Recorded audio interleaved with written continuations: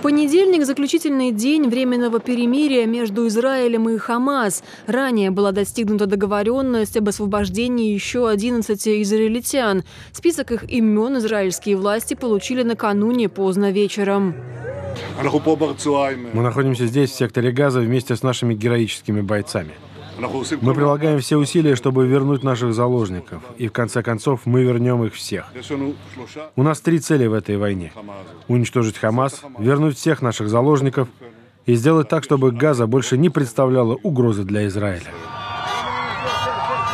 В воскресенье боевики Хамас освободили еще 17 заложников, 14 израильтян и трех тайландцев в ходе третьего обмена в рамках четырехдневного перемирия. Среди освобожденных четырехлетняя Эбигейл Эдан. Ее родители, имеющие израильско-американское гражданство, погибли в результате терактов, совершенных Хамас 7 октября.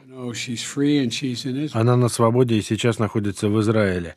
Те, кто сейчас окутывает Эбигейл любовью и заботой, оказывают ей необходимую поддержку. Девочка пережила страшную травму.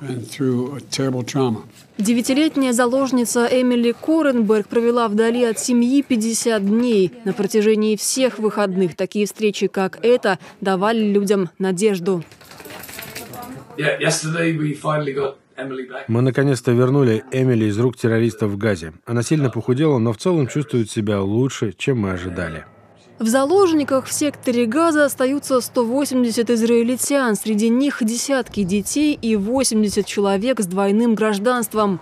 Катар, Египет, США и Евросоюз работают над продлением временного прекращения огня между Израилем и Хамас в секторе Газа, заявил министр иностранных дел палестинской национальной автономии Рияд Аль-Малики. Израильская сторона, как отмечают СМИ, проявила готовность продлить временное перемирие, если за каждый день тишины Хамас будет отпускать по 10 заложников. К продлению паузы призывает и НАТО.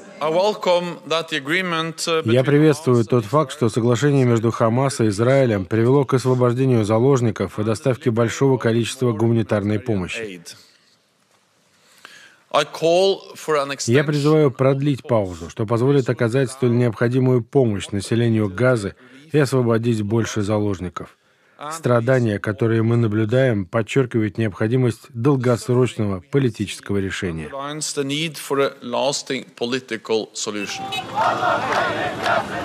Между тем, в рамках соглашения о временном прекращении огня израильские тюрьмы уже покинули более сотни палестинцев.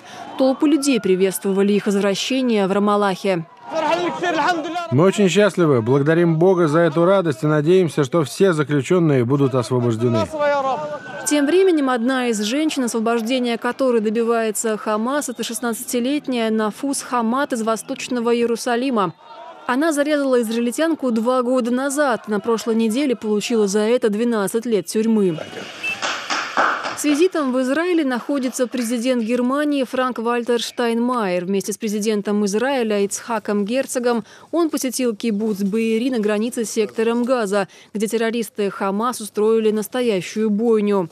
Германия выделит 7 миллионов евро на восстановление сожженной галереи в кибуце. Сегодня в Тель-Авив прибыл и миллиардер Илон Маск. Недавно он оказался в центре антисемитского скандала. В понедельник Маск также посетил кибуц Бери.